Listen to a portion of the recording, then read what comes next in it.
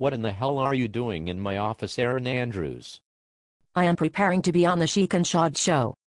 Who in the hell told you that you could be on the show? Sheik. What? That son of a. Simp. Well I was going to say bitch, but simp will do, and ho I need to talk to you, Melanie Collins is hotter than you. But I'm hotter than Lauren London. Shaking my head, the voting was a sham and a travesty, you are cute but very overrated. So you are saying I'm overrated like your boy Tracy McGrady aka T-Mac the first round hoe, but second round virgin. That is it. You crossed the mytherficking line. Get the fuck out my office right now not now, but right fucking now. Hey Shaud, before I leave guess what? What the fuck what? Tell me how my ass taste, goodbye. Mytherficker thinks she's Shaq now, oh wait.